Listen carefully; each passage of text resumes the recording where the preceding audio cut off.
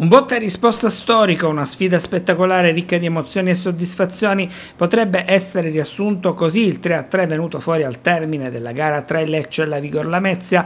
Giallorossi, Salentini e Biancoverdi Lametini se le sono date di santa ragione, il tatticismo è rimasto negli spogliatoi.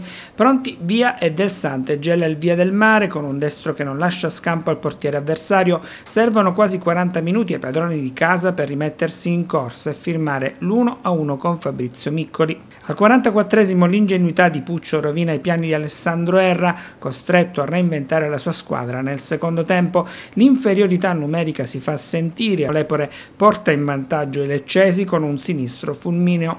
Ti aspetti l'imbarcata invece la Vigor reagisce con impeto. Al 66esimo Malerba riporta il match in parità. Neppure il tempo di rimettere in gioco il pallone che il Lecce cala il tris con Moscardelli. L'attaccante giallorosso va vicinissimo al poker, poco dopo Marosti si oppone e tiene a galla i suoi. Lo sforzo del portiere Lametino è ripagato all'87esimo quando Held trova il guizzo giusto in mischia e strappa un punto che sa di impresa